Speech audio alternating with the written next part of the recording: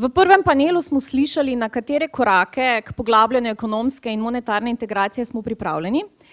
Zdaj pa se bomo osredotočili na učinke tesnejšega povezovanja v praksi. Kaj to prinaša za gospodarstvo, kaj to prinaša za navadne ljudi, kako doseči večjo demokratično legitimnost in politično odgovornost glede nadaljnje integracije. Odgovore na ta in druga vprašanja bomo skušali najti v naslednji uri. Z mano so predsednik uprave Leka Vojmir Urlep, izvršna sekretarka za ekonomsko področje pri Zvezi svobodnih sindikatov Slovenije Andreja Poje, prvi namestnik predsednika računskega sodišča Jorg Kristjan Petrovič in poslanka državnega zbora Simona Kustec Lipicer. Lep pozdrav vsem. Preden pa začnemo govoriti o prihodnjem poglabljanju ekonomske in monetarne unije, pa se ozrimo malce v preteklost. Za nami je že kar lepa doba povezovanja, vstopili smo v EU, prevzeli smo evro. Gospa Poje, kaj je ljudem prineslo dosedanje povezovanje? Smo včasih živeli bolje ali nam gre danes bolje? Ja, najlepša hvala za vaše vprašanje. Najprej bi želela pozdraviti vse v svojem imenu in se zahvaliti tudi organizatorju za prijazno povabilo, da lahko tu izrazimo tudi naša stališča. Če govorimo o zadnjih dvajsetih letih povezovanja, lahko ugotovimo, da je prišlo do velikih sprememb. Prinesel jih je tako vstop v Evropsko unijo kot v evroobmočje. Pričakovanja ljudi in delavcev so bila pred vstopom v Evropsko unijo kot tudi pred sprejemom evra izredno velika, podobno pa velja tudi, pa je veljalo tudi za pričakovanja gospodarstva. V zadnjih dvajsetih letih se je marsikaj zelo spremenilo, povečal se je gospodarski razvoj, povišale so se plače in zaposlenost glede na prejšnje obdobje, hkrati pa je prišlo do velikih sprememb tudi na trgu dela. Velike prednosti je prinesel evro, Povezovanje je pa za nas, ki smo majhna, odprta država, izredno pomembno, saj je gospodarstvo izredno vpeto v skupni evropski prostor. Ključni gonilec gospodarske rasti v zadnjem času pa je bil prav izvoz. Ključni problem, ki je nastal v Evropski uniji, je posledica finančne krize, ki je povzročila odpuščanja tako v zasebnem sektorju kot zniževanje plač, hkrati pa je bilo zaradi nje potrebno sprejeti drastične varčevalne ukrepe tudi v javnem sektorju na področju pokojnin in ostalih socialnih transferjev. To je pri delavcih in navadnih ljudeh povzročilo nezaupanje in to ne samo v domačo politiko, ampak tudi v skupno Evropsko in monetarno unijo. Tako kot v Sloveniji, tudi v Evropski uniji izgleda, da so celotno breme krize plačali davkoplačevalci, delavci in upokojenci. In kot kažejo podatki Evrobarometra, samo še petdeset odstotkov Evropejcev meni, da je Evropska unija dobra stvar, šestindvajset odstotkov jih meni, da gre Evropa v pravo smer, kar tri od petih pa ji več ne zaupajo. Samo štiriinštirideset odstotkih jih jih je zadovoljno s tem, kako deluje demokracija v Evropski uniji, in le devetintrideset odstotkov jih meni, da njihov glas šteje. Ključno je torej prav vprašanje demokratične legitimnosti, odgovornosti in vprašanje, komu je Evropska unija danes sploh še namenjena. In nenazadnje se to vprašanje odraža zelo močno tudi pri sprejemanju tega sporazuma TTIP, kateremu smo priča zdaj v zadnjih dneh. Gospod Urlep, kaj pa, kaj pa je dosedanje povezovanje prineslo gospodarstvu? Danes poslovati je verjetno lažje, kot je bilo nekoč. Najlepša hvala in prijeten pozdrav še z moje strani. Za gospodarstvo je kakršnokoli odpiranje meja že po definiciji seveda dobro, ker odstranjuje številne ovire, tako birokratske kot seveda blaži ali odstranjuje določena tveganja, recimo vstop v skupno monetarno unijo in prevzem enotne valute izloči marsikatero valutno tveganje, s katerim se gospodarski subjekti drugače soočamo.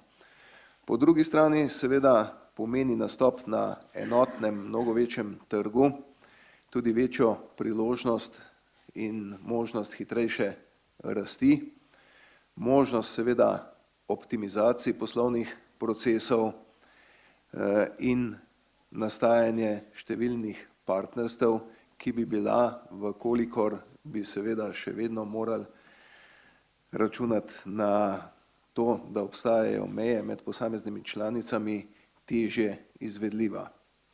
Tako da danes lahko rečemo, da se večina pričakovanj, ki jih je imelo gospodarstvo pred vstopom Slovenije v Evropsko unijo, uresničila, predvsem seveda tistih, ki so slonila na realnih osnovah. Vkolikor pričakovanja ne temelijo na realnih osnovah, potem moraš imeti pač izjemno srečo, da se ti uresničijo. Gospod Petrovič, kaj pa poglabljanje, nadaljne poglabljanje ekonomske in monetarne unije pomeni za male države, kot je Slovenija? Katere so prednosti in katere so pasti? Uh, poglejte, uh, jaz sem vedno verjel v idejo Evrope in mislim, da poglabljanje je pravzaprav prednost. Uh, naj za primer, kar takoj recimo povem, uh, primer fiskalnega sveta. Veste, da trenutno Slovenija je v fazi, ko iščemo, ko oblikujemo fiskalni svet, dva primera, dva postopka sta nekako že, že bila sprožena, dokončana, vendar neuspešna. Gre pa za dejstvo, da seveda fiskalni svet nek neodvisni nadzor nad fiskusom potrebujemo. In kaj je sreča? Sreča je ta, da pravzaprav Evropska unija zagotavlja nek usporeden sistem.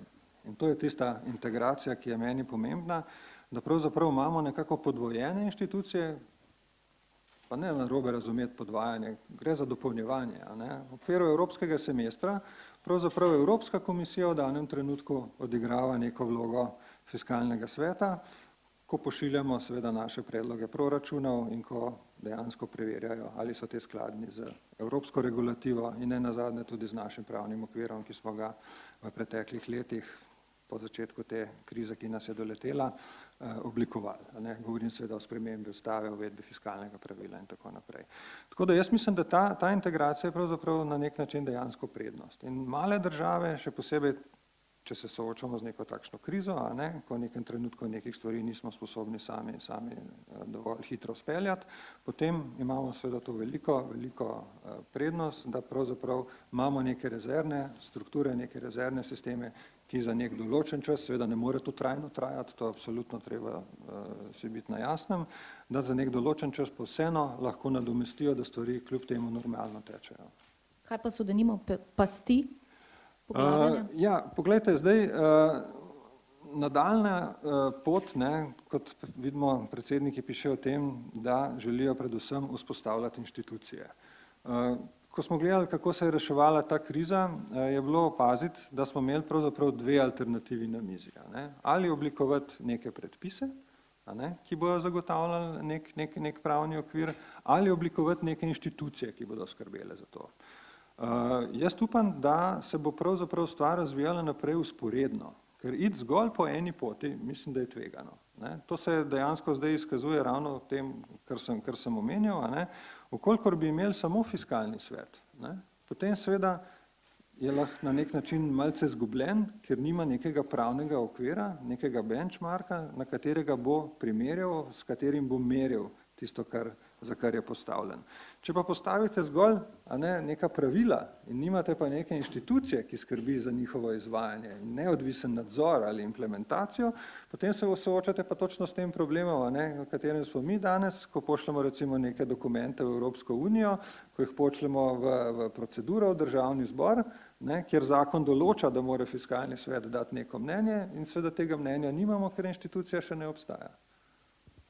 Gospa Kustec Lipicer, eh, je poglabljanje po vašem dobro? Zakaj? Kaj bo Slovenija s tem pridobila? In pa eh, morda še to, bi bilo po vašem morda v času napetih političnih razmer v Evropi, grozi Brexit, eh, soočamo se z migransko krizo, bi bilo mogoče bolje z nadaljnim poglabljanjem počakati, da se te politične razmere v Evropi stabilizirajo ali je zdaj dejansko pravi čas, da gremo s temi koraki naprej? Uh, najprej lep pozdrav in um, hvala lepa za povabilo, uh, za to, da sem danes lahko tule. Um, najprej bi želela pozdraviti našo evropsko poslanko, uh, gospo uh, Romano Tomc uh, in seveda ostale visoke predstavnike, ki so uh, povezani tako ali drugače s svojim delom, uh, pri svojem delu z Evropsko unijo. vsekakor tudi ostale visoke goste, predvsem pa študentke in študente, ki verjamem, da vas je tudi kar nekaj med vami. Zdaj, ko bom razmišljala pri svojem odgovoru, bi želela povedati takole. Moj razmislek po eni strani bo seveda šel v vlogi, ki jo trenutno prevzemam v političnem prostoru kot vodja največje poslanske skupine v slovenskem državnem zboru. Po drugi strani pa nikakor ne morem tudi mimo, mimo svoje primarne vloge oziroma funkcije, ta pa je akademska, um, kot uh, profesorica političnih znanosti, um, vsekakor ne morem mimo uh, tudi teh vsebin pri vprašanju, ki ste mi ga zastavili. Uh, mi vemo, da je Evropska unija skupaj potem tudi z današnjo bolj osko temo, to je, um, to je ekonomsko-monetarno uh, unijo, um, ena od, bi rekla, um, pravzaprav temeljnih stebrov um, skupnega evropskega razvoja od druge svetovne vojne dalje. Um, in gre za neke vrste živo tvorbo, kar pomeni, da pravzaprav ima svojo genezo, se razvija uh, in je zdaj že toliko stara, da ima tudi svoje vzpone in pace. Uh, in to se uh, kaže in to občutimo tudi posamezniki, državljani, um, posameznih držav članic, če želite tudi državljani pravzaprav um, Evrope. Ne? Uh, po drugi strani pa seveda to občutijo uh, na svoji koži tudi um, institucije, politične institucije.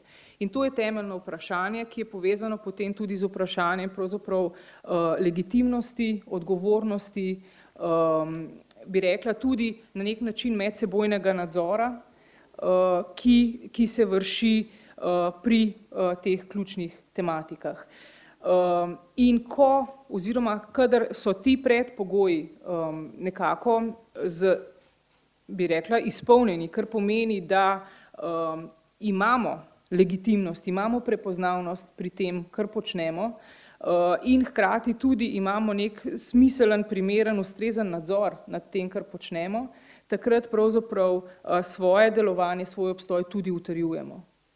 In uh, od tega je pravzaprav odvisno, kako utrjena tudi vnaprej bo celotna ta zgodba uh, tega, bi rekla, projekta Evropske unije in pa tudi hkrati uh, predvsem um, ekonomsko-monetarne unije.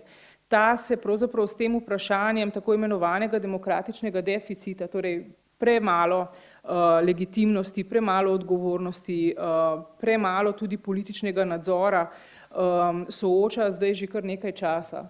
Uh, vse od takrat, ko je um, celotna, uh, celoten projekt relativno se kar uh, bistveno zamajal z začetkom uh, finančne krize uh, in pa potem z temi uh, koraki, ki jih je uh, Evropska unija preko svojih institucij, predvsem tule um, tudi govorimo o, vlogi Evropske centralne banke prevzela uh, v tem procesu, ki sedaj poteka.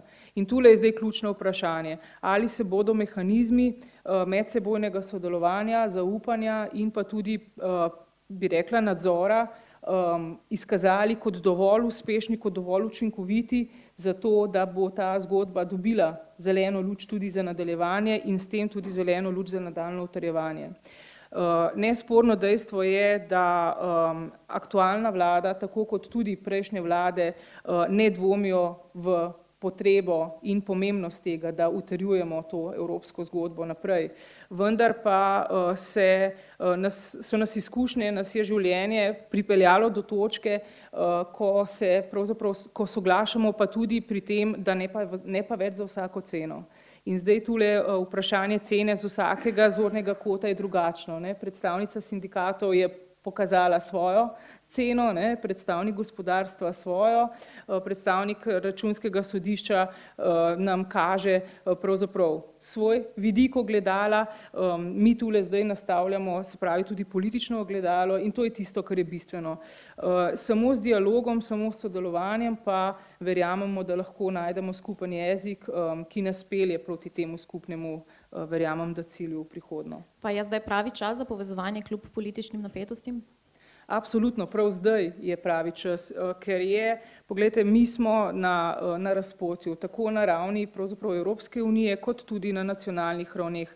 Nove, eh, predvsem povsem novi civilizacijski izzivi so pred nami takšni, s katerimi se od druge svetovne vojne, konca druge svetovne vojne pravzaprav na tem teritoriju nismo srečevali in zato je izjemno, izjemno pomembno, da jih znamo odgovorno in celostno nasloviti in tega ne more narediti en sam, ampak lahko naredimo samo v dialogu in sodelovanjem.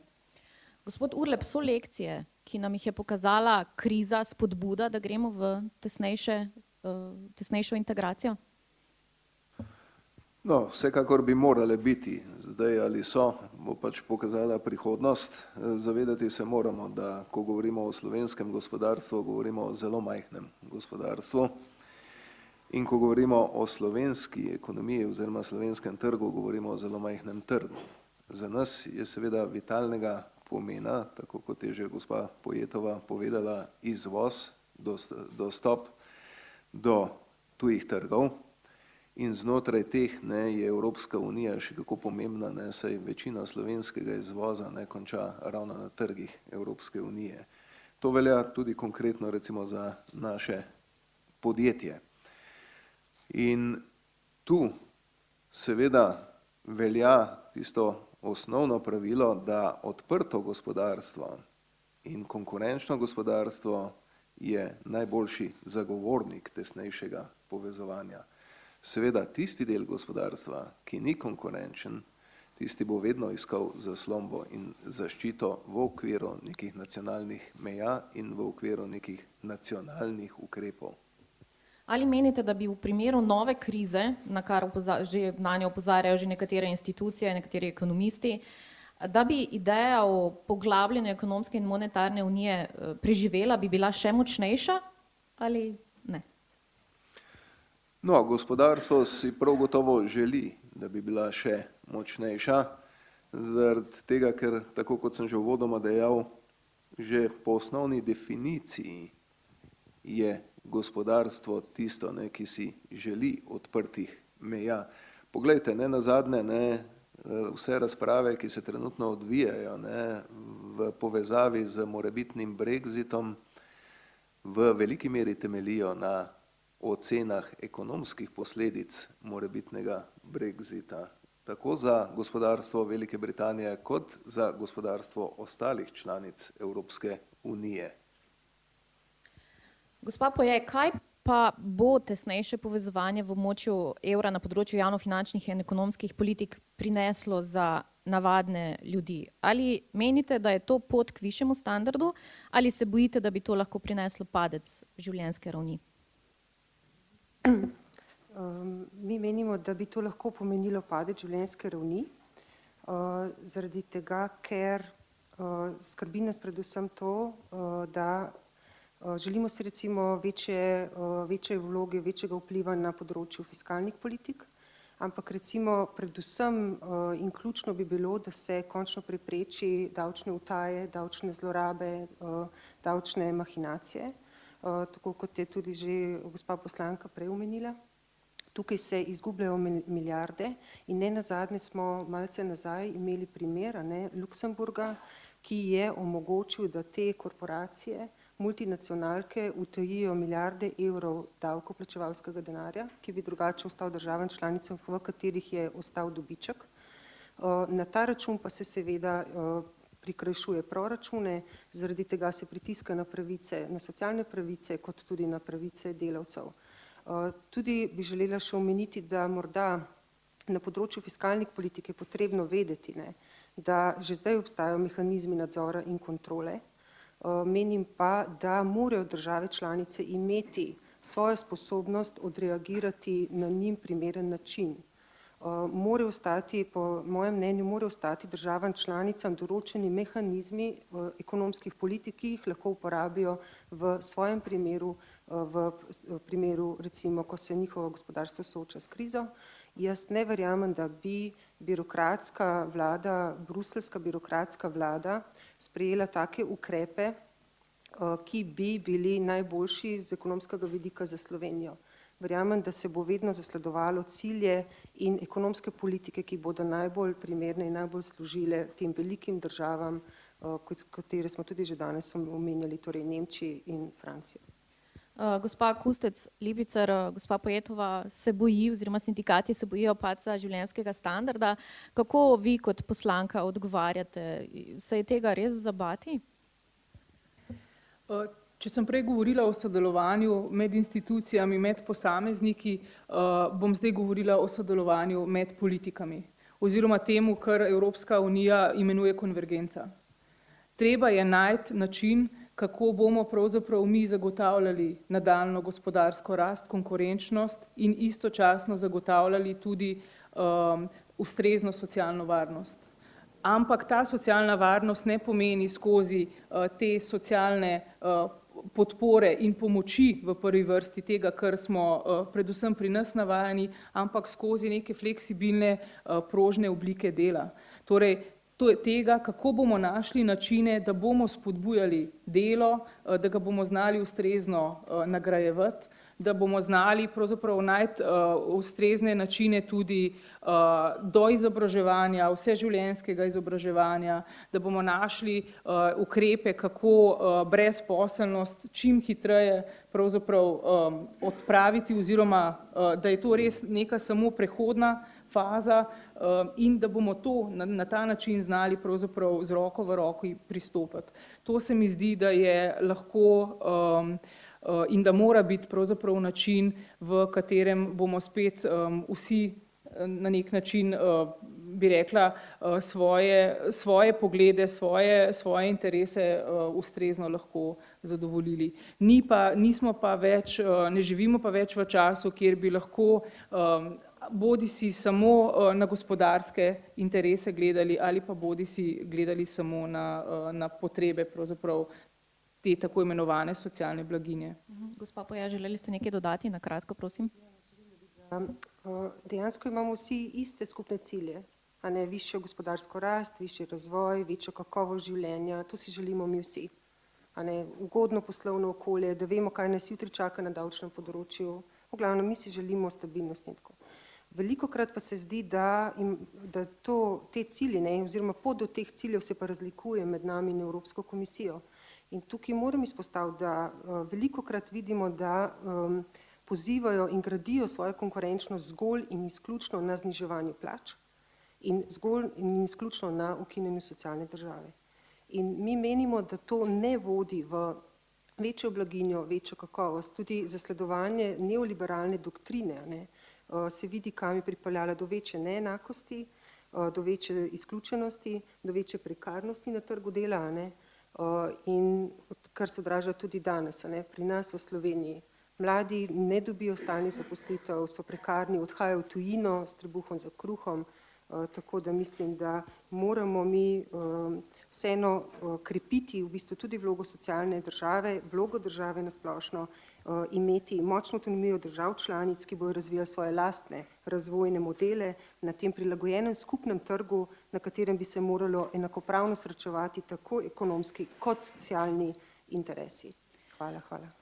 Poročilo petih predsednikov omenja tudi več področji, kjer bi evrsko območje lahko postavilo skupne standarde. Gospod Petrovič, kakšen model skupnih standardov ekonomske politike bi bil za Slovenijo kot malo in odprto gospodarstvo najbolj primeren? Eh, ja, hvala za vprašanje. Poglejte, eh, ko govorimo o inštitucijah eh, in ko govorimo o državah, moram se strinjati z mojimi predhodnimi sogovorniki, pravzaprav ključno vprašanje je ravno to vprašanje iskanje ravnotežja med povezanostjo in hkrati z ohranjanjem neke določene stopne neodvisnosti in avtonomnosti. Pa ne govorim tukaj samo o državah, govorim pravzaprav tudi o inštitucijah, govorim o vertikalni povezanosti inštitucij, Eh, in ne nazadnje o horizontalnem povezovanju. Jaz mislim, da nekaj, nalog, eh, kar se tiče izgradne inštitucije in pa predvsem vzpostavljanja tega povezovanja, je še ostalo pravzaprav eh, od začetka krize, ki smo jo doživeli. Ne vem, če se spomnite, ko se je začela najprej finančna kriza, ki je kasneje potem prešla v ekonomsko krizo, takrat se je veliko govorilo o vlogah regulatorjev. Zdaj, jaz mislim, kar se tiče bančnega sistema, tukaj so stvari relativno dobro urejene. Ne? In tudi to sodelovanje med Evropsko centralno banko in centralnimi bankami posameznih držav in članic je zgledno in tudi sama neodvisnost teh inštitucij je na visoki, pravzaprav na zavidljivi ravni. Ampak obstajajo še druge inštitucije, Takrat je bilo govora, če se boste spomnili, predvsem o nadzornih inštitucijah ne samo na bančnem sistemu, ampak tudi na področju borznih sistemov, tukaj ne vem, kako daleč smo in ne nazadnje tudi na področju zavarovalniških sistemov. Takrat smo se pogovarjali na začetku krize o tem, da je pravzaprav treba skoordinirati vse tri nadzornike na vertikalni in na horizontalni ravni, da se bojo med sabo povezovali, ker mi smo inštitucije, ki so funkcionirale tako na zavarovalniškem področju kot na borznem področju, ne, in to je imelo seveda neke, neke kritične komponente, ki so, ki so to krizo dejansko potem sprožile. In če se vrnem še k tem inštitucijam, k tem nadzornim inštitucijam, ne nazadnje tudi sam pripadam eni od njih, ki se povezujejo tako s svojimi kolegi v drugih državah, kot ne nazadnje z Evropskim računskim sodiščem. Tudi ta nadaljna krepitev avtonomnosti teh inštitucij, njihove neodvisnosti je pomembna. Nadzorne inštitucije so ena od ključnih komponent delovanja vsakega sistema, so pravzaprav njihov imunski sistem. In če te inštitucije nimajo na najvišjem nivoju zagotovljene neodvisnosti, potem se ravno v tistih najbolj ključnih trenutkih, v času najhujše krize, lahko znajdejo zelo na prepihu. Ne vem, če se boste spomnili primera Madžarske, v nekem trenutku je bil njihov fiskalni svet dobesedno izbrisan. Zakaj? Ker ni imel dovolj močnega institucionalnega okvira, predvsem na pravni ravni. In ko se pogovarjamo recimo s kolegi iz Evropskega računskega sodišča, izpostavljajo ravno to problematiko. Evropska ustava zagotavlja recimo visoko stopno in avtonomnosti centralni banki. Centralna banka je v pogodbi zapisana kot neodvisna inštitucija. Računsko sodišče te kategorije nima, se pravi, ni ustavna kategorija. In tukaj, kar smo brali, kar se tiče predloga predsednikov, govorijo seveda tudi o ustanovitvi fiskalnega sveta za celotno Evropsko unijo. Prej sem že omenil, v današnjem trenutku to vlogo sicer upravlja Evropska komisija, vendar vizija predsednikov je vzpostaviti neodvisno inštitucijo. In tudi njej bo treba zagotoviti neko dovolj močno ustavno kategorijo, da bo v ključnih trenutkih ohranjala svojo neodvisnost. In te inštitucije bodo potem na nek način tudi garant, a ne, da ko pridejo krize, da jih bomo nekako lažje prebrodili. Ali menite, da bi večji obseg skupnih standardov zmanjšal prožnost držav pri ukrepanju? Bi bila to voda na mlin državam, ki nimajo evra? Gospod Petrovič. ja, glejte, kar se tiče fiskalnih politik. Danes so bile že omenjene in jaz mislim, da tudi tukaj je treba neke stvari premakniti naprej. Kar se tiče same, samega fiskalnega okvira, okej, tukaj smo poti, poti nekako zintegrirali, smo jih harmonizirali, ampak kar se pa tiče davčne politike, davčna politika je pa dejansko problematična, gospa je prej že omenjala Luksemburg, ker obstaja neko dejstvo, ki se ga morda malo premalo zavedamo, ne, in to se imenuje davčni damping. Davčni damping je nekaj, kar, s čimer imamo mi seveda problem. Če želite imeti državo, ki normalno funkcionira, ki opravlja vse svoje socialne funkcije, potem te stvari seveda stanejo. In države, ki so bogatejše, a ne, si potem lahko zaradi tega, ker že z manjšim obsegom davkov lahko zadovoljijo te storitve, si lahko potem privoščijo tudi nižje davčne stopnje. In Slovenija mislim, da ima v danem trenutku s tem kar, kar, kar dobršen del problema. Ker se odraža ravno z vsem tem, kjer so potem posledice, ne. Takrat, ko se govori, ko se govori o tem, zakaj mladi odhajajo, zakaj gospodarstvo morda ni tako močno konkurenčno, kot bi bilo lahko, jaz mislim, da tukaj je treba vedno se vprašati tudi o, o tej davčni komponenti. Kar se pa tiče integriranosti monetarne, pa jaz mislim, da je dejansko to prednost, ne, in ali to lahko države, ki, ki nimajo evra, izkoristijo, morda lahko, sigurno, vendar tudi tam obstajajo določene pasti. Vi se boste spomnili, kako je bilo z našimi bivšimi državami, ko so lahko še vršile svojo avtonomno monetarno politiko, kam nas je to pripeljalo, ne. Tistih bankovcev, ki so imeli ne vem koliko ničel, tega, tega ne bomo nikoli pozabili, ne. Govorim dejansko o tveganju inflacije, ne. Ta je v nekem kratkem roku seveda lahko, lahko dobrodošla, vendar ne pozabiti, če predolgo traja, lahko pomeni preveliko potuho, ne, in ta potuha potem seveda tudi vpliva na, na, na zmanjšano konkurenčnost posameznega gospodarstva. na kakšen način bi bilo, gospa Kustec Lipicer, po vaše treba spodbujati konvergenco? Ali s pravili in sankcijami ali bi bil bolj učinkovit pristop palica korenček? Ja, to je vprašanje za milijon dolarjev, ne. glejte, predvsem je treba določene še, določeno arhitekturo je treba še premisliti najprej na, na tej čisto politični ravni. kaj s tem mislim? Prej sem že omenjala demokratični deficit. Ponovno je treba preveriti, ali pravzaprav so te sistemi nadzora in ravnoteži, tako imenovani checks and balances, znotraj političnih institucij ustrezni in ali delujejo. Zdaj tule pravzaprav je treba gledati na, na ravni, na dveh nivojih v resnici. Najprej govorimo o teh sistemih nadzora in ravnotežij med institucijami Evropske unije, potem pa tudi med institucijami Evropske unije in pa na nacionalno ravnjo. In tule se kaže, da je potrebno še kar, še kar nekaj napredka narediti, ne.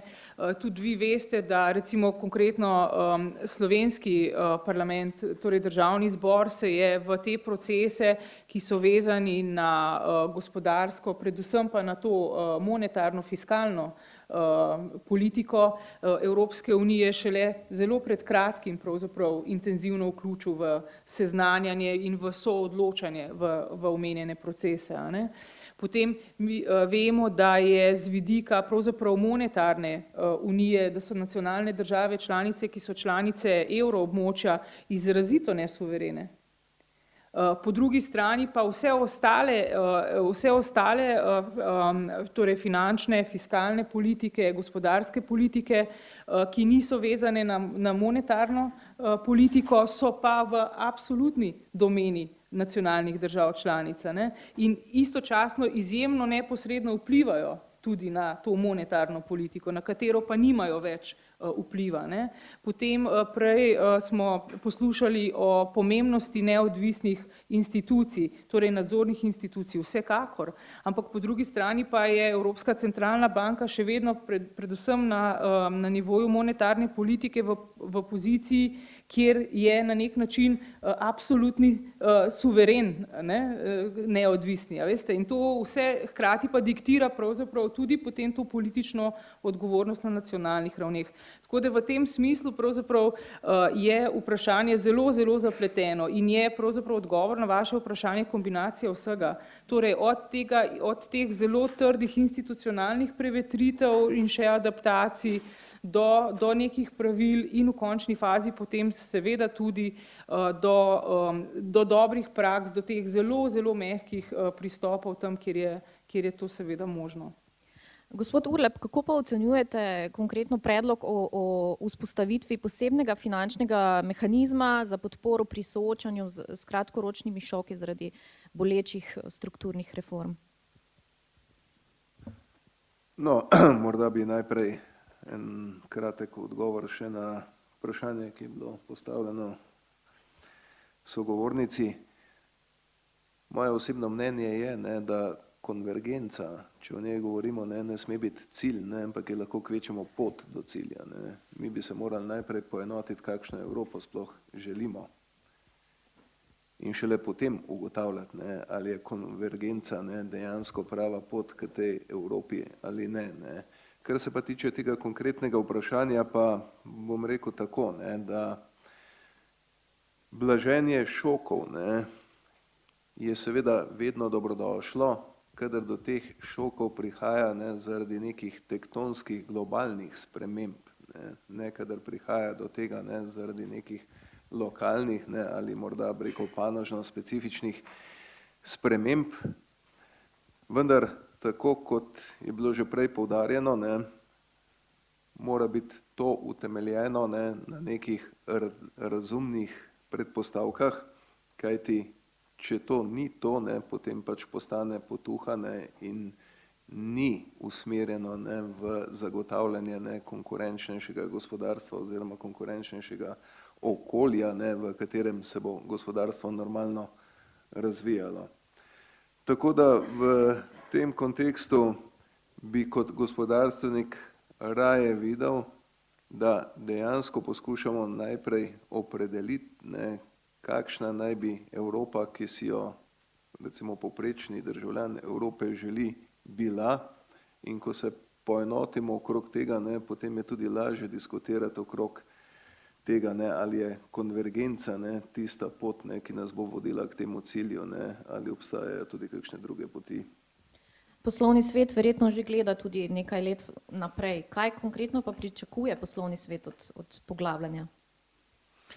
No, Poslovni svet pričakuje vse to, kar je bilo v principu že našteto, se pravi, čim manj ovir na poti hitrejše gospodarske rasti in to ne samo znotraj Evropske monetarne unije, ne, ampak globalno, kajti danes ne, ga ni gospodarskega subjekta, ne, ki bi še lahko svoj razvoj temeljil samo na razvoju in delovanju znotraj tudi tako velike združbe, kot je sicer Evropska monetarna unija. Globalizacija je pač dejstvo, če hočemo ali ne in danes, sploh če gledamo seveda za nekaj let ali desetletij naprej, moramo gledati globalno.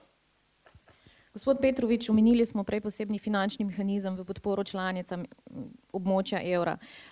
Kako bi, ne, če bi do tega mehanizma prišlo, zagotavljali nadzor nad porabo sredstev?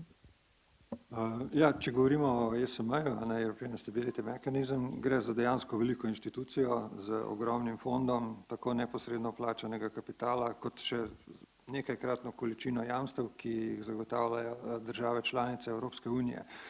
Zdaj, kar se tiče samega nadzora, moramo vedeti, da poleg tega borda guvernerjev, ki, ki, ki vodi to inštitucijo, obstaja še bord revizorjev ki ga sestavljajo predstavniki Računskega sodišča Evropske unije in pa člani ki prihajajo iz različnih revizijskih inštitucij, vrhovnih revizijskih inštitucij držav članic. Se pravi, so dejansko predstavniki računskih sodišč držav članic. Ta nadzor seveda vsako leto poteka, te revizije se izvajajo in poročilo je poslano, posredovano tudi vsem, vsem parlamentom držav članic.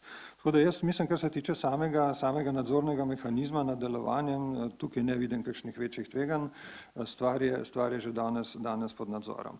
Drugo, kar, kar, kar bi veljalo še, še omeniti, je pa to, da dejansko jaz upam, da do same uporabe tega fonda niti ne bo potrebno, upam, da ne bo potrebe, da bi do njega prišlo, ker gre dejansko za zadnjo linijo obrambe, gre za pravzaprav tisto veliko količino denarja, ki je nekje v rezervi, v kolikor se Evropske unije ponovno v neki finančni krizi lotijo neki finančni špekulanti, ne. Ker to je tisto ključno, da ti, ti, ti inštrumenti morajo obstajati samo za, za to, da so, da lahko zagotavljajo, zagotavljajo neko stabilnost. Zdaj, ta, ta, ta je bila seveda vzpostavljena, vemo, da ta, ta sklad že nekaj let deluje in zdaj, v kolikor bi pa dejansko do, do, do tega prišlo, pa ne, potem kot tisti zadnji, zadnji, zadnji plačnik garantira, da ne glede na to, kaj se bo v kakšni državi zgodilo, bo odreagiral. Moram pa se strinjati z, z mojim predhodnikom predvsem o tem, da te mehanizmi seveda ne smejo pa postati potuha, ne. Tudi ta politika, ki jo zdaj vrši centralna banka, ne, kar je bilo že prej omenjeno, to kvantitativno popuščanje, pravzaprav kaj vidimo zdaj ta efekt, ne. Na neki način se je ta kreditni krč je popustil, inflacija upajmo, da bo počasi prišla nazaj, a ne, vsaj tako kot ima Evropska centralna banka cilj, ampak čim je kriza malo popustila, kaj se je začelo dogajati v nacionalnih državah, ne. Neka vnetost za reformami je, je popustila, in to je pa negativni efekt vseh teh inštitucij, to je pa dejansko tista potuha, ne, in jaz mislim, da tukaj v danem trenutku, ne, ko se ta kriza počasi končuje, ko prihaja ponovno gospodarska rast, ne smemo pozabiti, ne, na vse tiste lekcije, ki smo jih, ki smo jih v krizi dobili, in ena od teh je ravno ta, ne, da ko pridejo dobri časi, ne, je dejansko treba vse reforme do konca speljati. In tudi tukaj moram reči, tudi Republika Slovenija, a ne, je pred izzivom, a ne, treba je strukturne reforme speljati do konca, a ne, ne glede na, na to, da se stvari stvari zdaj izboljšujejo. Gospa Poje, vaš komentar, sindikati ste ponavadi tisti, ki prvi rečete stop pri kakšnem ukrepu, pri kakšni reformi, strukturne reforme je treba speljati?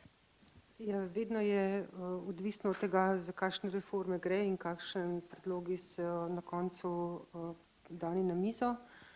Dejstvo je, da vedno proučimo in konec koncev pristopimo k socialnemu dialogu. Dejstvo pa je, ne, da smo že pred časom opozarjali, da bi bilo izredno pomembno, da se spodbudi tudi domače povpraševanje, ne samo investicije, kajti to je tudi eden izmed ključnih gonilnikov gospodarske rasti. Tudi verjamemo, ne, da namesto teh stalnih pozivov po reformah in vrčevanju, da bi bilo potrebno tudi zniževanje javnofinančnih dolgov podpreti s politiko zagona gospodarske rasti, tudi z zahtevnimi tehnološkimi, socialnimi in pa trajno razvojno naravnanimi projekti, a ne, kajti investicije so ključ do gospodarske rasti, v bistvu z višjo gospodarsko rastjo pa lahko tudi lažje poplačujemo tisto, kar smo v težkih časih si nabrali dolga, ne. Hvala. Naj spodbudim samo občinstvo, čez nekaj časa bomo dali priložnost za kakšna vprašanja, razmišljanja tudi vam. Če se je že porodilo kakšno vprašanje, vam dam priložnost že zdaj, če ne, nadaljujemo z našimi vprašanji, nismo še končali. Je kakšno vprašanje? Ni, torej mi nadaljujemo z našimi vprašanji, z mojimi vprašanji.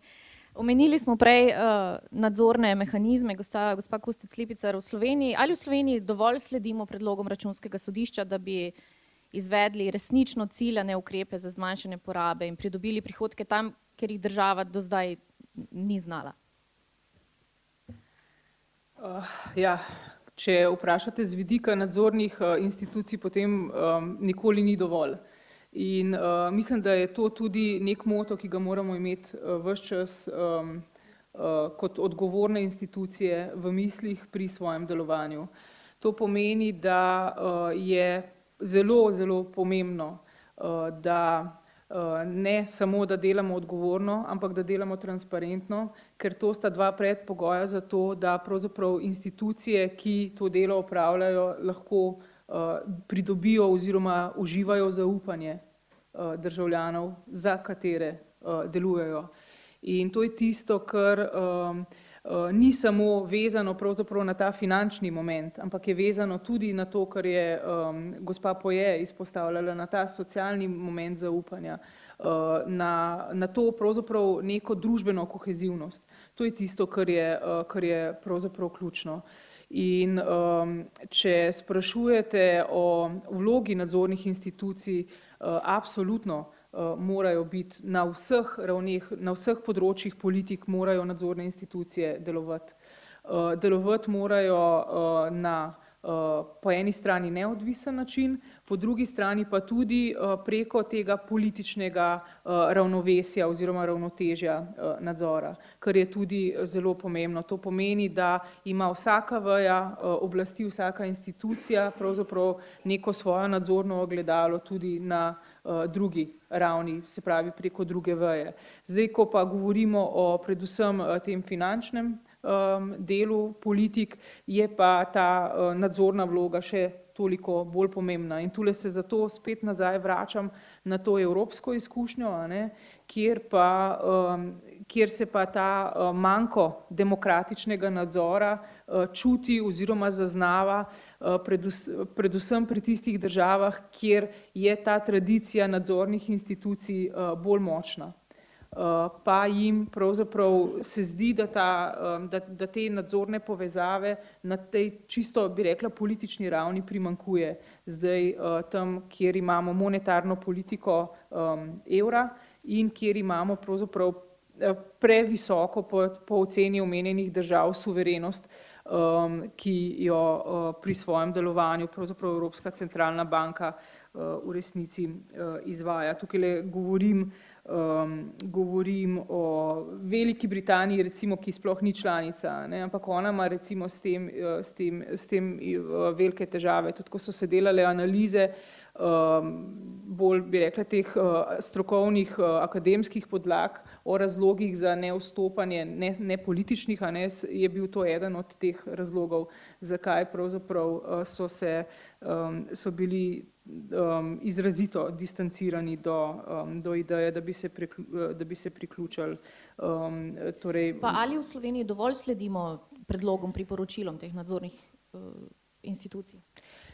Jaz lahko rečem, zdaj seveda to je politična ocena teh slabih dveh let, vsekakor smo izjemno, izjemno pozorni in in premišljujemo o tem, kaj nam sporočajo te ocene nadzornikov.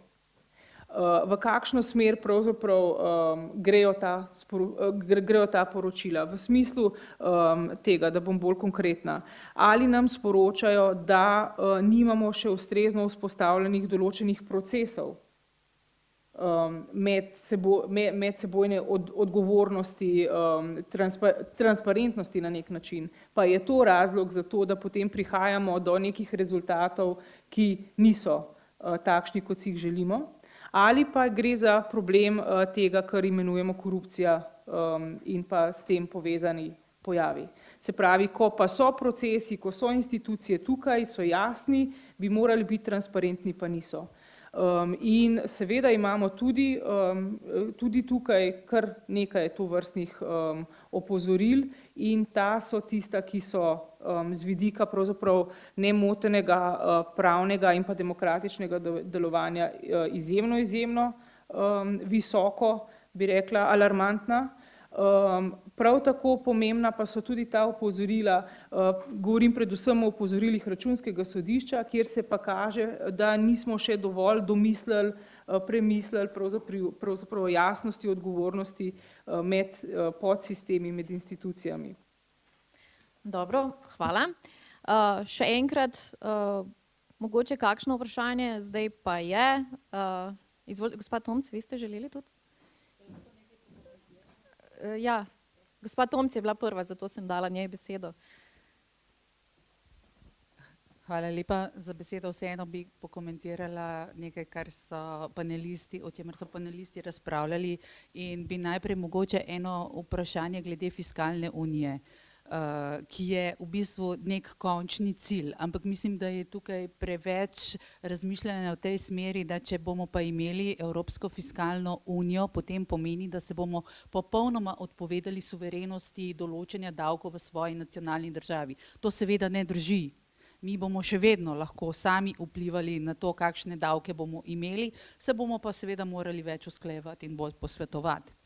Uh, že sedaj obstaja in jaz mislim, da bo še v nadaljevanju se okrepilo in še vedno obstajalo tako imenovano načelo subsidijarnosti, izjemno pomembno načelo v okviru evropskega pravnega reda, ki seveda onemogoča Evropski uniji, da bi posegala v vsa področja nacion nacionalnih politik.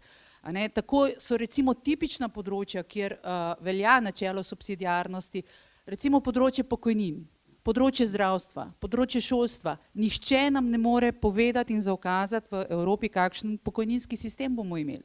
Mi sami ga določamo. So pa seveda določena merila in cilji. Evropska centralna banka je tipična uh, institucija, ki izvaja ustrezen nadzor. Vendar, to še ne pomeni, da je Evropska centralna banka uh, odgovorna za to, kakšno lukno smo mi ustvarjali v naših v naših bankah in tudi njeni ukrepi, kot recimo uh, vplivanje na uh, uh, obrestno mero in kvantitativno sproščanje, to so ukrepi, ki so sistemski ukrepi in zadanejo vse države. Problem pa je, ker imamo mi seveda različne težave, različne velike težave v različnih državah. Ti ukrepi, čeprav niso v javnosti prepoznani kot izjemno uspešni, pa so vendarle vsi skupaj omogočili to, da smo mi dobili potreben manevrski prostor, da naredimo reforme. Ampak, če jih bomo naredili ali pa ne, nam pa ne bo pač nihče mogel pomagati pri tem, razen mi sami. In mi smo odgovorni, da izvedemo reforme. In Evropska komisija ima z Evropskim semestrom nek usmerjevalni mehanizem. Ampak več let že berem, poročila Evropske komisije, ki vedno pravijo, čestitamo, že veliko ste do zdaj naredili, ampak potreben bo še dodatni napor, da boste išli iz te krize. To je pet eh, preteklih poročil povsem enakih in petkrat zapovrstjo je že Slovenija v Brusel eh, poslala jasno zavezo, da bo recimo sprejela neke ukrepe, recimo zakon o dolgotrajni oskrbi in drugo leto vam povem, na kateri strani bo pisali, da ga bomo sprejeli. Prosim, če lahko počasi zaključite svoje. Uh, samo še glede, glede sindikatov. Ne. Uh, Slovenija ima najnižjo stopnjo neenakosti, najnižjo v celi Evropi. Ne. Tako da tukaj smo relativno uh, dobri. Uh, jaz se strinjam in zagovarjam predvsem to politiko. Zdravo gospodarstvo in ugodni konkurenčni pogoji za gospodarstvo bodo tisti, ki nam bodo dali tudi dobro in primerno razvito socialo. In kdo, in vedno govorimo, uh, ustvariti moramo uh, dobre zaposlitve, nova delovna mesta, ampak stopimo še korak naprej. Kdo jih pa ustvarja? Ustvarja jih gospodarstvo. Zato moramo dati gospodarstvu seveda svežga zagora, da se razvija. Sem pa proti temu, da ne bi bilo napačno razumljeno, da se ti gospodarstveniki, to ponavadi niso ti, skrivajo v davčnih oazah uh, in ne plačujejo davkov, kakor bi jih morali. Hvala, gospod Tomc. Gospod Stančič je še želel. Hvala lepa. Najprej hvala vsem panelistom za, za zelo argumentirano diskusijo. Imel bi pa pravzaprav dve konkretni vprašanji za gospod Kustec Lipicer, ki pravzaprav prvo gre predvsem v smeri, vi kot predstavnica oziroma vodja poslanske skupine največje parlamentarne stranke, kako ocenjujete recimo splošno vzdušje v parlamentu glede poglabljanja Evropske monetarne unije. Seveda smo sedaj na začetku postopkov, seveda pač bojo, bojo diskusije potekale. To, kar smo danes slišali, torej tudi strani drugih poslancev, tako evropske poslanke, kot tudi vaše kolegice iz državnega zbora, se mi zdi, da je pravzaprav splošna atmosfera, da gre zelo v podobno smer, ne, torej da je na nek način neka pripravljenost, ne glede seveda na razlike v, v, v detaljih, tako da bi vas vprašal za vašo oceno, uh, kako vidite uh, pač splošno, splošen položaj glede tega problema oziroma teh izzivov v, v parlamentu. In druga zadeva je pa, pravzaprav vidimo, da se tu in tam pojavi v uh, Evropi primer, da so določeni uh, evropski, eh, evropske diskusije zlorabljene oziroma da se ugrabi za pravzaprav reševanje določenih eh, nacionalnih ali pa celo strankarskih diskusij. Ne?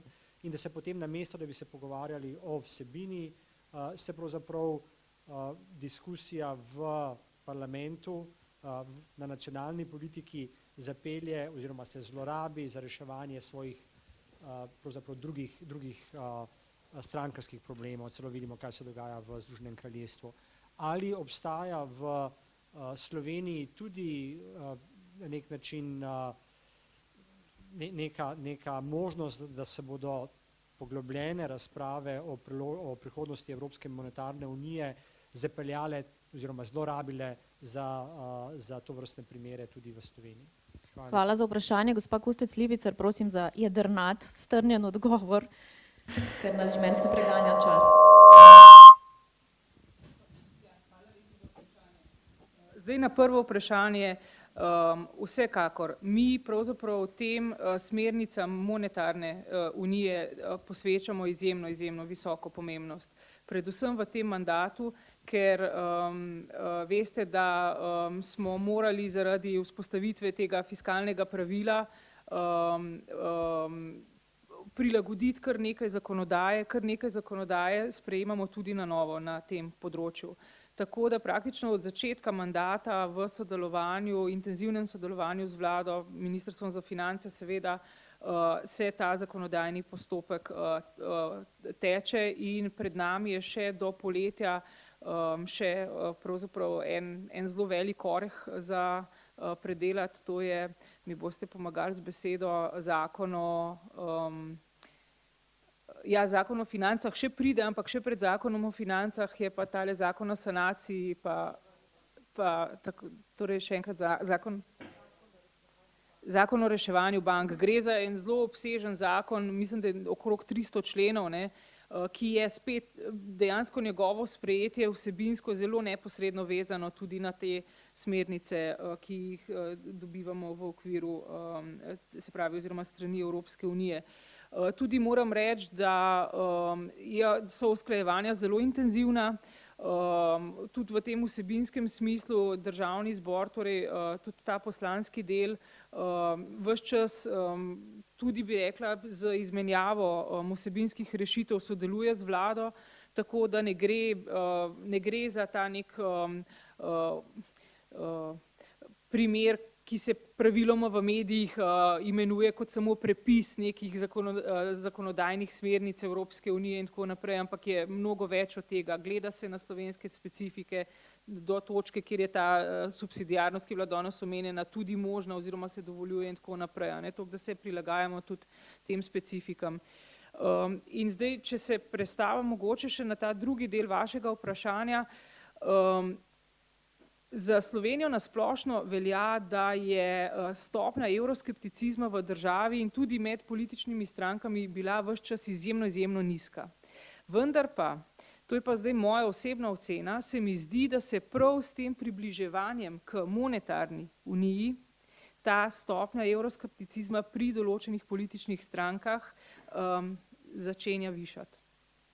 Torej, da je ta skepsa, ki, uh, ki um, da, da, da narašča pravzaprav ta skepsa, ven tudi iz, nekega, iz nekaterih zgledov, tukaj le govorim predvsem o grškem zgledu, uh, govorim mogoče tudi v enem delu o zgledu ki španskih političnih, določenega dela političnega prostora. In tule ven pravzaprav pa se z argumenti nekih alternativ pravzaprav temu, kar Evropska monetarna unija omogoča oziroma ponuja, postavljajo tudi ena drugačna politična stališča, ki bodo verjetno ta evroskepticizem postavila na neke druge temelje. Jaz bi čisto samo z, uh, o neenakosti bi želela samo dodati, da uh, so neenakosti v Sloveniji zelo povečale od, od samosvitve naprej. To kažejo mnoge študije in ne samo recimo Penrit ali in drugi in ne samo na delovnem mestu, tudi med spoloma.